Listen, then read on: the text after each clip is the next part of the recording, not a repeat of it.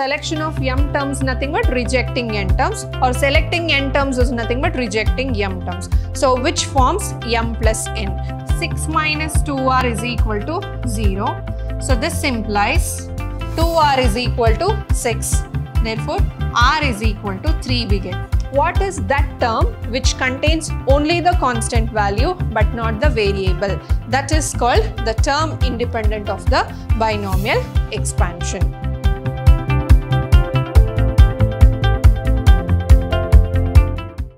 Hello everyone, a warm welcome to one and all. This is your Shruti ma'am lecturing in Vidhyaashram, the Temple of Excellence, Mysuru.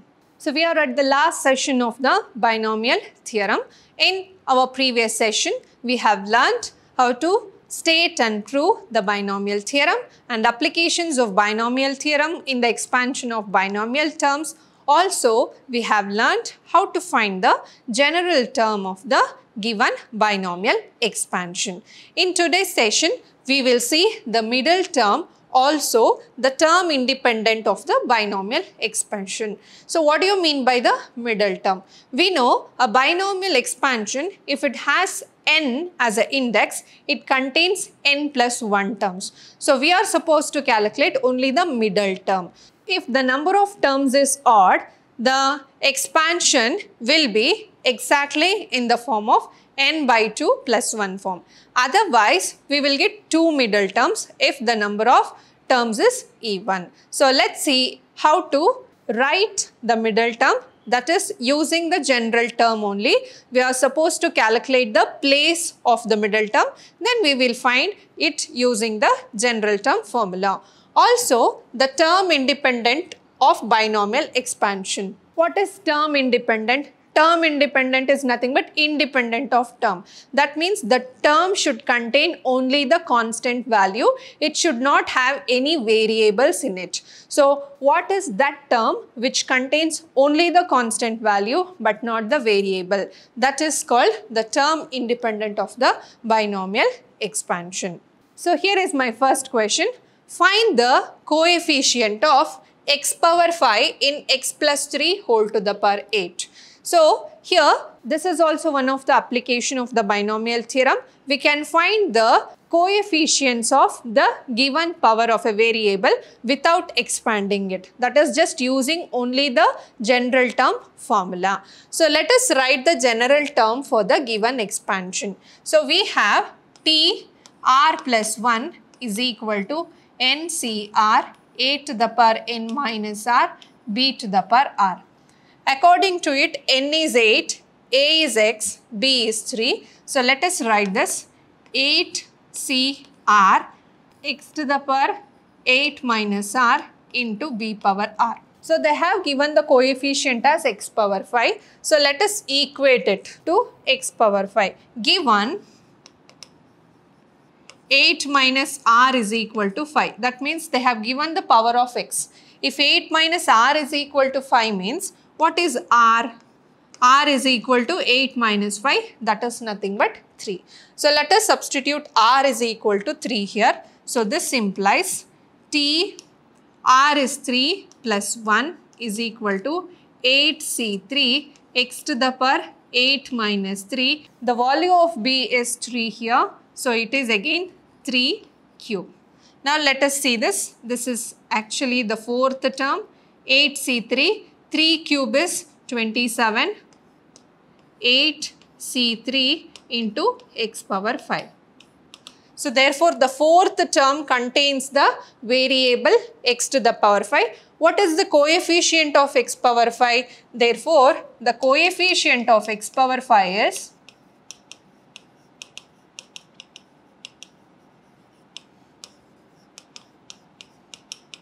what is the term multiplied with it that is 27 8c3 we can solve 8c3 and multiply the given value with the 27 to find out the constant. So therefore this is the coefficient of the variable x to the power 5 in the given expansion. Next question a power 5 b power 7 in a minus b 2b whole to the power 12. Let's write the general term. General term is TR plus 1 NCR a to the power n minus r, b to the power r. So therefore, tr plus 1, I don't know what is r. So I should find out a power 5, b power 7 value. So let's write here tr plus 1 is equal to n is 12, 12 cr, a to the power 12 minus r, b is actually minus 2b here. So minus 2b whole to the power r. Now clearly we need to calculate a power 5 or b to the power 7. So that means b to the power 7 means clearly we can see r is equal to 7 from it. Or you can compare this given 12 minus r is equal to 5 because they have given a power 5. So a power 12 minus r equated this implies r is equal to 7 or they have given b power 7 here you contain b power r. So directly we can write r is equal to 7.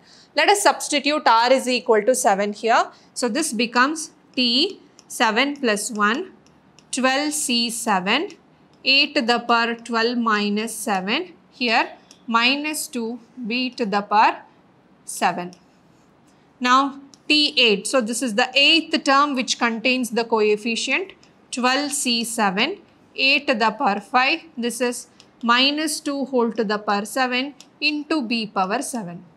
What is minus 2 whole to the power 7? So therefore T8 is equal to minus 128 into 12C7 a power 5 b power 7. Now we have the value a power 5 b power 7 here. What is the coefficient? Therefore, the coefficient is minus 128 into 12C7. So, we can solve 12C7 which we will get as a constant. We can multiply it minus 128. We will get a negative coefficient for the variable a power 5 b to the 7. Next question x power 6 y cube in x plus 2y whole to the power 9. Let us write the general term. Tr plus 1 is equal to ncr a to the power n minus r. B to the power r. Say tr plus 1 is equal to 9cr value of a is x. X to the power 9 minus r. B is 2y so 2y to the power r. So given x power 6 y cube. So you can directly write r is equal to 3 or they have given 9 minus r is equal to 6. This implies r is equal to 3. Or you can compare with the y coefficient, write directly r is equal to 3. So this implies t 3 plus 1 is equal to 9c3 x to the power 9 minus 3 2y whole to the power 3. So this is t4 9c3 x to the power 6 into 2 cube into y cube. So clearly T4 is equal to 8 into 9C3 x power 6 y cube. So now I need x power 6 y cube which I got. What is the coefficient? So therefore the coefficient is is 8 into 9C3. So this is the coefficient of the given variable. Next question. Find A if the 17th and 18th term of the expansion 2 plus A whole to the power 50 are equal. So given T17 and T18 are equal. So T17 means it is T16 plus 1. T18 means it is T17 plus 1. And clearly from the observation here n is equal to 50 a is equal to 2, B is equal to A. So, how I can write this with the help of the general term? We know TR plus 1 is NCR A per N minus R into B per R. So, let us use the formula that is TR plus 1 in the form of NCR A to the power N minus R B to the power R. Let us use the same formula both sides. So, here N is 50 C R is here 16 and A is 2. So 2 to the power 50 minus 16 into and the value of b is a here. So 8 to the power 16 is equal to this side 50 c 17 2 to the power 50 minus 17 into 8 to the power 17. Let us expand this.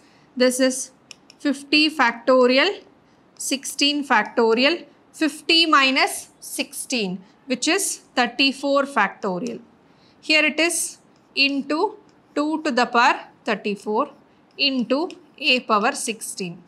Here 50 factorial, 17 factorial, 33 factorial, 2 to the power 33 into a to the power 17. Cancel 50 factorial, 50 factorial on both sides. So you can cancel 2 to the power 33, 34, a to the power 16, 17. After all, you will get here a is equal to, keep a here because you have the highest power of a. So here you have 2 into 17 can be written as 17 into 16 factorial. Next, cancel. 33 as it is divided by here. 16 factorial you can write. 34 can be written as 34 into 33 factorial. Now cancel the common terms. 33 factorial 33 factorial 16 factorial 16 factorial get cancelled. 17 2s is 34 cancels with 34. So therefore the value of A is equal to 1. So this concludes that A must be 1. Next question. In the expansion of 1 plus A to the power m plus n, prove that coefficients of A power m and A power n are equal. So let's write the general term first. So that is TR plus 1 is equal to NCR A to the power n minus R B to the power R. According to the problem, we have A is equal to 1, B is equal to A, N is M plus N actually. By substituting here, we get TR plus 1 is equal to M is M plus N CR. A is 1. So 1 to the power anything is 1 and B is given as A, R is seen. So therefore, clearly you can see the coefficient of AR is M plus N CR. The coefficient of A to the power R is M plus N CR. So similarly we can write the coefficient of a power n is what? m plus n c n and a power m can be written as m plus n c m according to the conclusion here. If you have r in the power, then it is r in the combination. That is, it will become a subscript here. Similarly, if you have n here, it should be n here and m here, it should be m here. So now, what is this? It is the selection of n terms out of m plus n. That means you are rejecting m terms. Similarly, it is a selection of m terms in the terms m plus n. That means you are rejecting n terms. So, which is nothing but the same. So, therefore, here m plus n c n is nothing but m plus n c m plus n minus n. So, which is one and the same. So, therefore, this can be written as m plus n cm. because the selection of m terms nothing but rejecting n terms or selecting n terms is nothing but rejecting m terms. So, which forms m plus n. So, therefore, what I can write m plus n c n can be written as m plus n cm. Next question, prove that the coefficient of x power n in the expansion 1 plus x2n is twice the coefficient of x power n in the expansion of 1 plus x 2n minus 1. First, let us write the coefficient of both expansion. Let us consider 1 plus x to the power 2n. Now let us write the general term tr plus 1 is equal to ncr a to the power n minus r b to the power r. Now here t r plus 1 is equal to n is actually 2n here. So 2n c r. a is 1, 1 to the power 2n minus r. b is x, x to the power r. So now I need the coefficient of x power n. So x power n means given r is equal to n.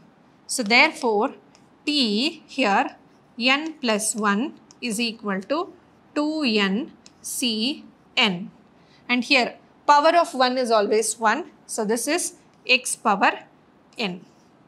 So therefore coefficient of x power n is 2ncn. Now let us solve this 2n, 2n cn here. So 2n cn can be written as 2n factorial n factorial 2n minus n is again nothing but n factorial. So now here I can write this as 2n into 2n minus 1 factorial. Similarly here I can write n into n minus 1 factorial into n factorial.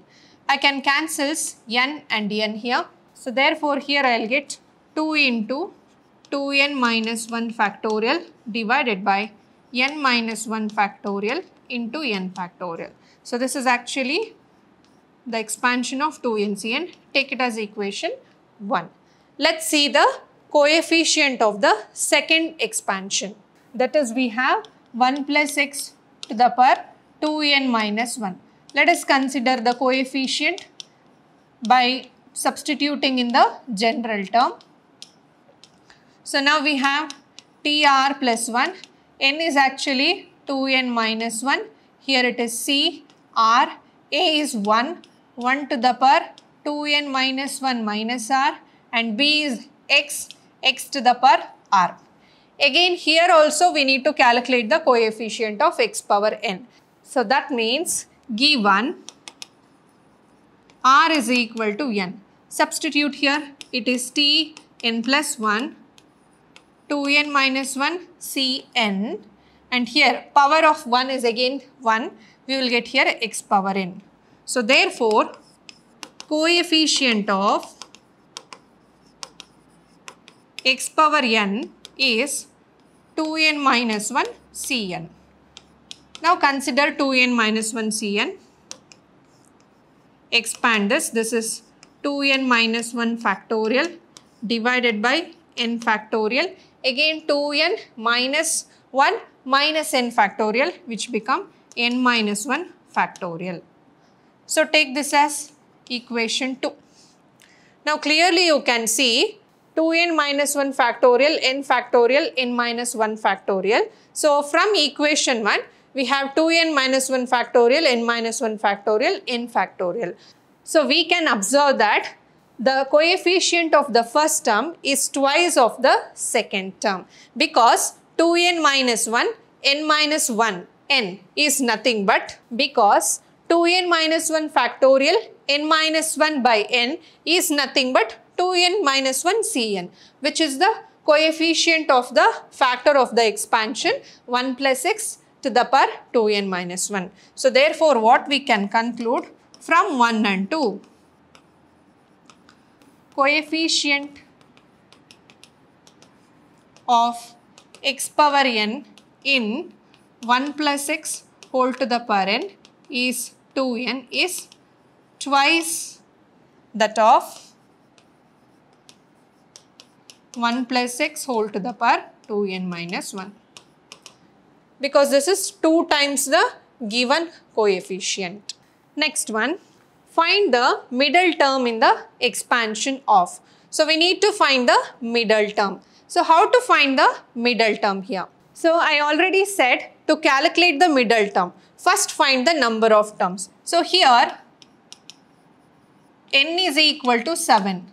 That means n plus 1 is equal to 8. So the expansion has 8 terms. If the index is 7, the expansion contains 8 terms. So therefore there are 2 middle terms. So there are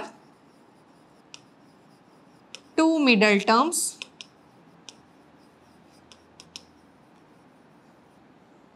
So how we will try to calculate the middle term? So that is one is we take it as n plus 1 by 2th term and another one is n plus 3 by 2th term. So here according to it the middle terms are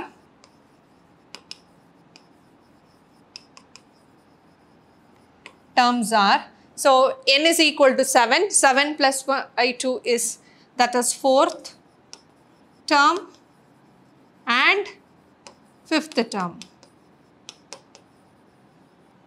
So that is 7 plus 3 is 10, 10 by 2 is fifth term. Now use the general term formula that is TR plus 1 is equal to NCR A to the power N minus R B to the power R.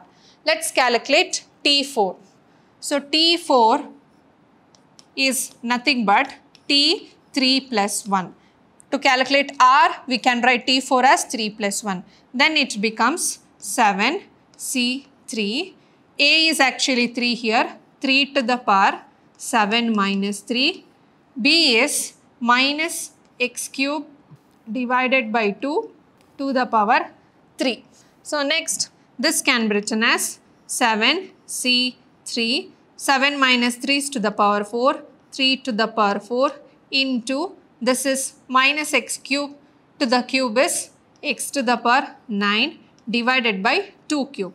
And we have negative outside. Let us expand this. So this is 7 into 6 into 5 divided by 3 into 2 into 1 into 3 power 4 is 81 into x power 9 divided by 8.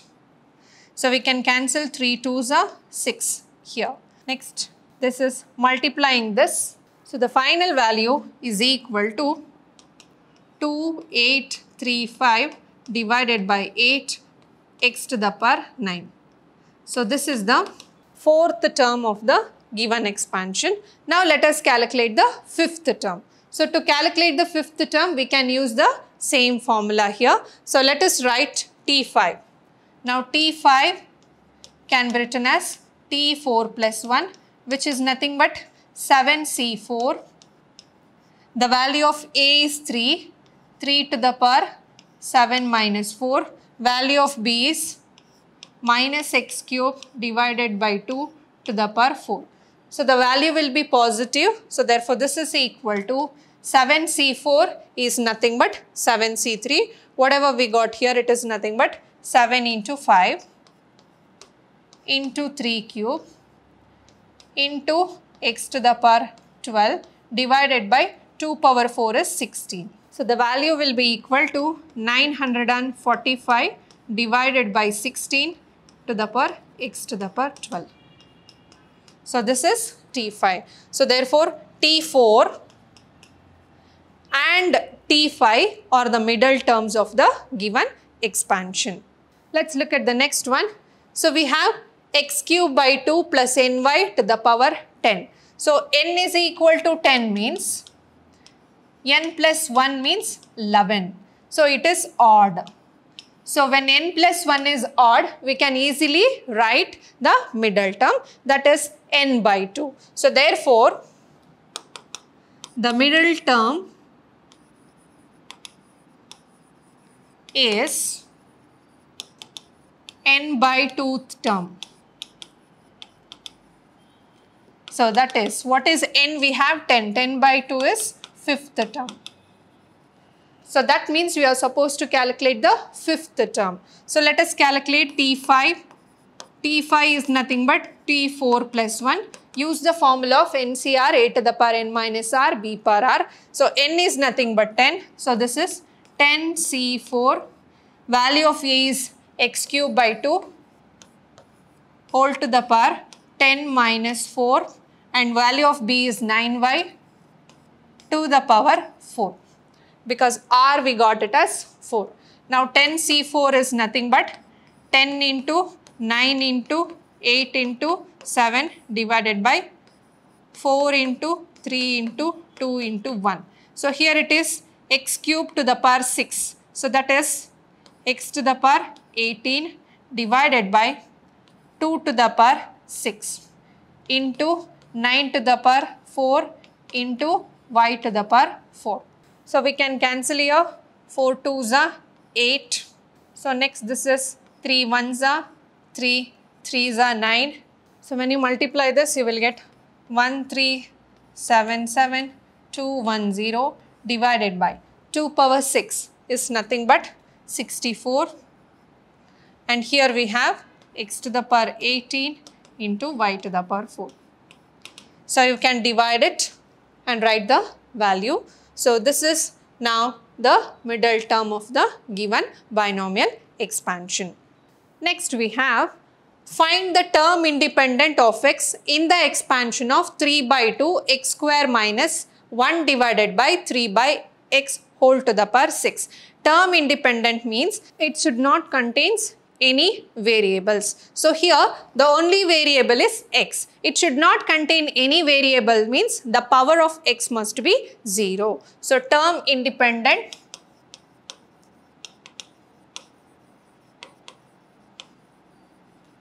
that means only constant no variables. So how many variables you have that is power of all variables must be equal to 0. So this is the thing you should know. When you are finding the term independent, like you have found the coefficient of x power 5, the coefficient of a power 5, b power 7. Here you are going to find the coefficient of the variable with power 0. So here the variable is x. So therefore, here we are going to find out the coefficient of x power 0. So to find coefficient of x power 0, we have, let us take the general term, tr plus 1 is equal to ncr a to the power n minus r, b to the power r.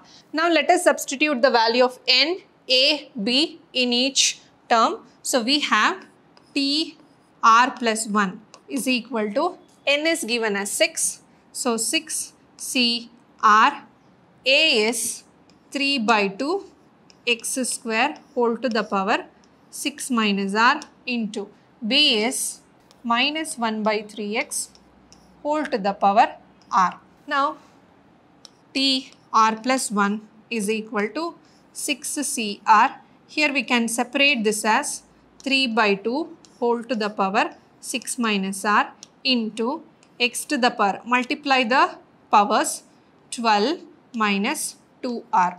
Here again we can write this as minus 1 whole to the power r divided by 3 to the power r into x to the power r. So solve this t r plus 1 is equal to 6 c r 3 by 2 to the power 6 minus r. So here it is r becomes x to the power 12 minus 3 r into minus 1 whole to the power r divided by 3r. So here my objective is to make the power as 0. So let us put this is equal to 0 because I need the coefficient of x power 0. So for that put 12 minus 3r is equal to 0. So put 12 minus 3r is equal to 0. This implies r is equal to 4. Now substitute r is equal to 4 in the given equation. So this is t 4 plus 1 6c4. Here you have 3 by 2 6 minus 4 into x to the power 0 it becomes. Because if you substitute r as 4 here 3 4s are 12 12 minus 12 will become 0 next we have minus 1 whole to the power 4 divided by 3 to the power 4 let's look at the term. So this is t5 so this is 6 C 4. Here it is 3, 6 minus 4 is square into 2 square. Here it is minus 1 whole power 4 is 1 divided by 3 power 4 into x to the power 0. We can cancel 3 square, 3 square here. So, again 6c4 is 6 into 5 into 4 into 3, 4 into 3 into 2 into 1. 4, 3, 4, 3 get cancels. Next we have 2 ones are, 2 threes are. So here we have 1 by 2 square into 1 by 3 power 4. So multiplying all the terms, we get T5 is equal to 5 divided by 12. So this is the constant term where you don't have any variable. So therefore, term independent of the expansion is nothing but you are going to find only the constant value where you don't find any variables. So for this expansion, we have the fifth term that is r plus 1 we got it as 4 plus 1 5. So therefore, the fifth term is the term independent of the given expansion. So this is all about the binomial theorem chapter. So what are the important concept you should look at it is you should know to state and prove the binomial theorem which comes for 5 marks question in your examination. Then to find the general term, middle term, coefficient and term independent of the given term in the expansion. So you will have one 3 marks question and one 5 marks question for your examination. Total 8 marks from the chapter binomial theorem. We'll meet you in the next session. Until then, keep watching, keep learning and keep exploring. Thank you.